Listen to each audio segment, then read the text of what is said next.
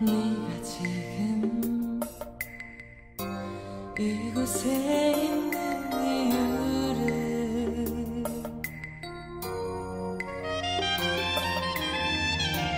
언제까지나 날 어리게만 보지만 세상이 어두운 게 너만의 것은 아니야.